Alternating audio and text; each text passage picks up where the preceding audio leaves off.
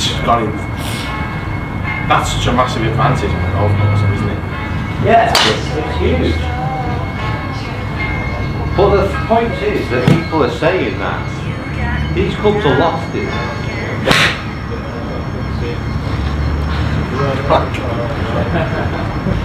Right, we're back down. It's Four Golf Chester. It's a little bit chilly start to this morning. We've got, yeah, there he is. Lewis is back on the channel. He's setting up what is a a very new iron. It's the Epic Forge, and it's a very strong lofted iron. It's 27 degrees, and we've dug out a very old club. Well, it's 10 years old. The gap between these two clubs is 10 years in terms of uh, in terms of their age of manufacture. But the difference in loft is zero. They're both lofted at 27 degrees. And I want to see what's the difference between a 7 iron 27 degrees, a 5 iron 27 degrees, and see what happens in terms of the performance characteristics. Only one way to find out. Let's get into some golf balls. And Lewis, good to be back. Good to be back. Yeah, I think I'll be hitting some as well, won't I? So, All ready to go? I'm ready to Let's get started.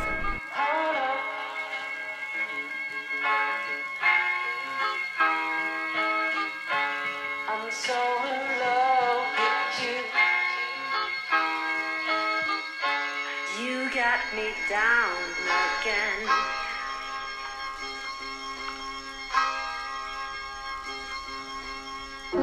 Right, so what I'm going to do before, uh, hopefully you can uh, see me back there, but uh, what I want to do, Lou, is get some immediate feedback with uh, five iron first. We're going to start off with the G15.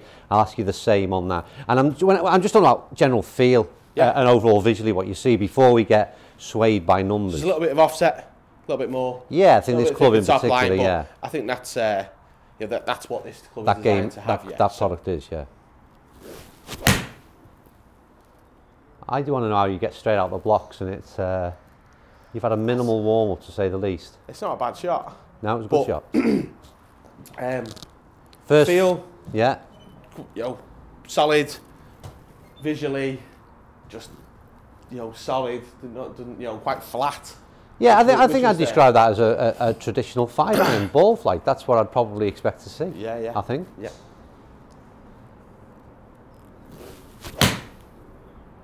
You could game these, Lou. I tell you what, that's going They've landed on top of one That's gone another. straight as it. But that's what you expect. You know, easy to hit. Um, obviously, it's cast a little bit harder. Yeah. You know, offset top of but Interesting thing to mention as well, we've got exactly the same length of shaft in both of these. Yeah. That's something that people might pick up on. Um, that's fine, so we'll carry on with this, get your numbers, and then we'll do the same with the 7 iron. Right, sorry to interrupt, but I've got a quick question for you. At this point in the video, which would you rather use, a 27 degree 5 iron or a 27 degree 7 iron? Seems a simple enough question, but where we are right now, what would you rather use? Comments down below. Right, so Lou, data collected. Over to the, uh, the, the new, so Well- straight, straight away, top line i- isn't massively different. isn't it? It's not massively different. So there's a considerable less offset. Yeah. Um, obviously different finish, but um, can tell length's the same. It does. Yeah. You know, it's a little bit longer for a seven iron. But oh wow, That's a super shot. even the noise. Yeah, it was a lot softer, wasn't it? I didn't pick on the noise until I was watching the shot, but it was a lot No. softer sound. completely different. But it's gone into outer space, that hasn't it? Yeah, it was a different launch altogether. That's uh, that's what I would expect to see from from a seven iron. Yeah. You know, at, at, you know, that stamped on the bottom. So That's two balls, super shots. Tell you what, you, you're, you're in the ball. I mean, what I like is that uh, again, why Lewis has been brought in just for this, for this type of video is perfect to see. Again, consistency of strike, which obviously has been good on all shots that we've seen so far. So same again. I mean, sound and feel. I can, I can hear it, and, and I'm not hitting I the hope ball. it picks it up on the audio because dramatically different. But Yeah. the, for, for me, it's what happens out there, Yeah, and it's it. You know, the numbers I'm hoping will suggest because visually you can see It definitely different went. flights. Uh, visually, we can see where it's landing, Yeah. going further. yeah, Um, but all round, I think looks, feel, yeah. distance, performance. uh, Well, you yeah. know, we're not trying to find any. You know, we're not reviewing this club, are we? We're just No, no, it's, it's all difference. about it's all about like I say modern technology. So carry on, hit the rest of the shots. Let's get your data on that, and then it's uh, it's my turn. I'm itching, mate, to hit a golf shot. Right, I'm going to have the benefits. I alluded now. This are the two clubs alongside him, and uh, the size of profile. I'll throw some clips up for you now. Is hugely different. He's right about the top line. Not a lot, but it is thinner on the Epic Forge.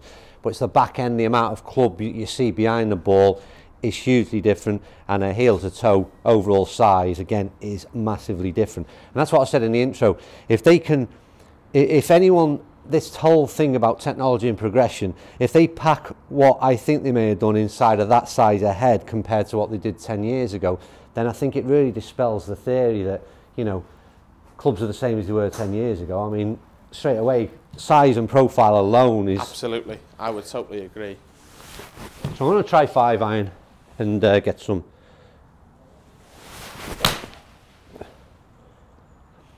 It's not a bad ball. Good hit, Yeah, good strike. yeah, it's okay. What's your What's your first thoughts on the flight though? Well, the flight for me, I mean, I know straight away, I hit the ball a lot higher than Lou um, in general. My ball flight is different, so it's a, it's a, a bit weaker, more floaty ball flight. So that was higher than you've hit it, but um, yeah. I mean, um, listen, if I was starting a game of golf, and people say again about golf being expensive, I don't know what these retail at. There's nothing wrong with these golf clubs. Absolutely And that, not. that, that's not the point of this exercise. That ball's gone fine. Absolutely fine. Two shots I hit. I can get around the golf course with these, no problem at all. I That- don't think you are. That's one of the main reasons we didn't go for a weak lofted modern club, I think, isn't it? Because Yeah, it's, it's uh, they, they, these are perfectly. These were the market leaders, game improvement irons of the day, weren't they? they were doing what they were supposed to do 10 years ago, and that was make this game a little bit easier in terms of launch. And there's nothing wrong with that. I know for a fact, and I'm going to say fact without looking at numbers, that's nowhere near what I'll hit a five iron nowadays, and I'd, I'd argue that I'd even hit that longer. I, I, the big thing for me is, if you told me you were hitting a seven iron, Yeah. I'd visually go, yeah, I can see that. See that in flight. See that in the distance. You know, we hit a lot of balls in here, don't we? Um, I'll carry on it in these. Let me get me, let me get me numbers on my five iron, and then it's over to. Uh, right. I mean, in terms of looks, visuals, I mean they're literal chalk and cheese. In terms of uh, this is a far different looking club, but how does it perform?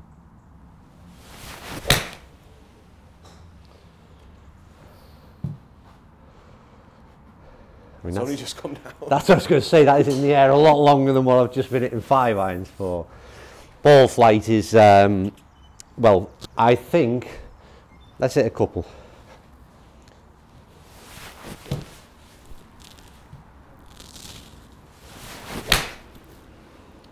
And that was a bit off the bottom groove as well, but still, again, my immediate reaction is this, and uh, I'll carry on it in the balls until I find uh, get get the data in full. The ball flight is incredibly different. I think that um, in two balls there, they're a lot higher in terms of peak height. I don't know what they're launching at, but in terms of peak, Peak height up, ball speed up. it is. just off a couple of hits, so you know, we'll hit a few more and get it. But Yeah. it, and it, you know, visually, it, it's uh, backs up there. Oh, I mean, it's just literal. These are these are different balls in terms of where they're going to, in terms of uh, into that sky. Um, feel is a lot softer, different animal altogether. Like I said, in terms of that kind of performance. But I'll carry on in these balls, collect some data, and uh, I'll give you an overall evaluation from both Lewis' perspective, um, who's like I said, a more consistent ball striker, and also from mine as an average golfer. That's got him. That's such a massive advantage on the golf course, isn't it? Yeah, it's huge. But the point is that people are saying that these clubs are lofted. And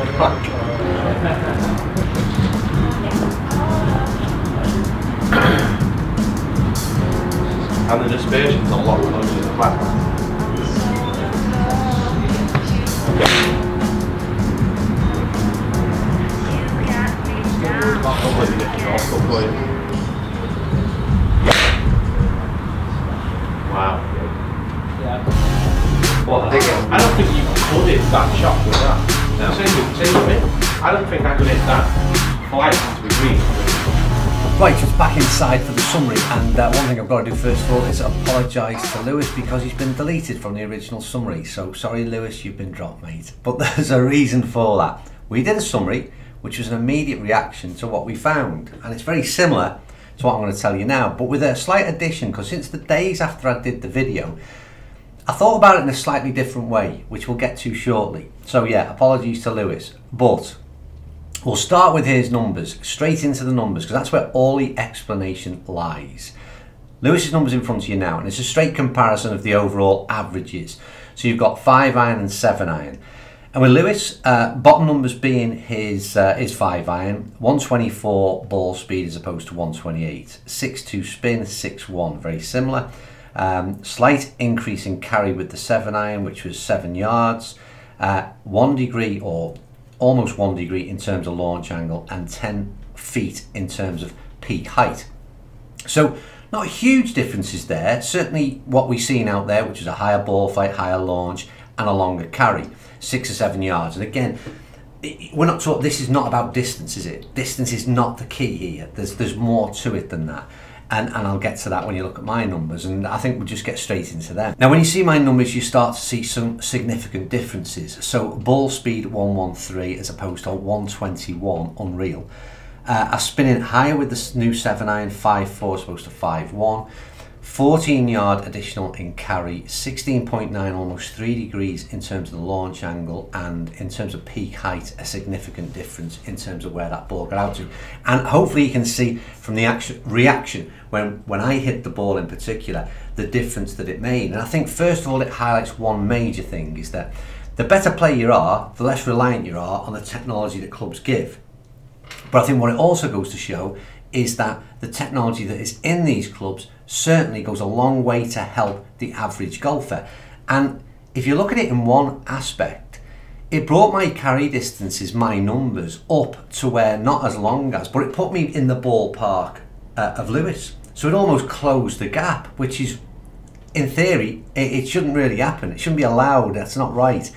But his ability to find the centre of the club face more regularly, his consistency of strike meant that I don't think his differences, his gains were anywhere near what I saw. But for me, don't forget what this channel is all about. Like I said, there's lots of professionals that review golf clubs and perhaps would relay, relay the information that we've just seen there from Lewis as being no major difference. But I review golf clubs from the perspective of an average golfer, so a handicap golfer. And there's major differences to be seen there.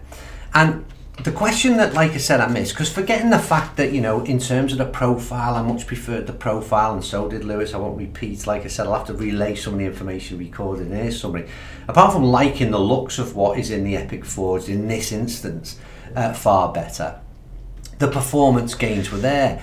But these are the way I look at it. Very brief in terms of Lewis. Ball speed up, carry distance up, and I'm reading off paper as you launching higher, higher peak height, steeper descent angle, which isn't on those numbers there. And then for my numbers, well, it's a significant gain. And a question I've got, and the one that I didn't ask in the original summary, was this. The comment comes in quite frequently that when you're testing a 7 iron, a stronger lofted 7 iron, and I'm talking about a 30 degree 7 iron now, often the comments will be made, well, that's not a 7 iron you're testing, it's a, it's a traditional 5 iron. Well, it's, it's clearly not. And my question is this, and I asked it midway through the video, is if I've got a choice, I'm 170 yards into a green, and I've got a decision, I've got a choice of two clubs. I can either pay, play the Ping G15, 27 degree, or I can play same distance, same carry, 170 yards. I, well, I can't get that actually out of the Ping G15, but I can choose to play the new with the modern technology, with the lower CG, with the steeper uh, launch angle, steeper descent angle, higher peak height, I've got two choices. I've got a choice to make between one of those two clubs. I ask you that question, which would you choose? Because what I can't understand when I do these videos is that choice to me seems very, very straightforward. And I must be missing a major point here because, like I said, my the, the point I've done these videos before, similar of similar nature, but this more clear than ever has highlighted to me that I would never understand I understand why people might want to stick to traditions, but to say that technology has not moved on in clubs is, I find bewildering. And I think that's as obvious as I've ever seen it to suggest there is a huge leap in the changes that are made. So from 7 iron or 5 iron, well, I'm picking the 7 iron all day long if I've got that choice. You then go to this idea that most of the criticisms about stronger lofted clubs relates to it's all about distance. Everybody talks about distance being the thing, and for me, it's not about distance. It's been able to carry a distance with a great launch angle, great peak height, great spin number, and being able to land into greens from 170 yards than, than the opposite, which is trying to hit it with that lower ball fight to the five iron that we've tried. They're the differences. And yardage is nothing to do with it in terms of how far you're carrying it. But the idea, the next thing that is potentially said is that, well, what's the point you need five wedges in your bag? Well, again, you don't. I think, again, we take comments to extremes. And I've worked back some numbers, and again, I'll read these from you. So if I'm on 170 on my 7 iron, and 168, 159, 140 pitching wedge, 130 gap wedge. Okay, let's assume 10 yard differences. And at the other end of the bag, I'm 186 iron, 195 iron. Okay, that equates for seven irons. I've then got the option to put two wedges in the bottom end of the bag. I can put a hybrid, a three wood, a driver, and a putter. Add all them together, that's 13 clubs. And I've still got room for one more club, whether it be another wedge or another thing at the top end of the bag that I prefer to hit. But either way, it again comes down to this. If I've got to put more wedges in the bag to cover distances down the bottom end, well, I'd prefer to have a shorter club with more loft on it any day of the week in the bag, if they're my options, than having to go down the longer end of the bag to try and resolve my issue. So, like I said, going by that five iron number from me, and what is it? Carrying 160 you try and work that backwards up to the top end of the bag or lower end of the bag and, and, and translate those launch angles, those peak heights at either end. And a game is a lot more difficult than it is, in my opinion. And I can't see it any other way at the moment in terms of that modern technology. And I really enjoyed doing the video. But the numbers for me were the first time where we've highlighted something so visible that for me it's hard to ignore. But as ever, it's just an opinion and it's providing some information, some feedback to you, the average golfer. Do with it what you will, interpret it as you please, and as ever, comments down below.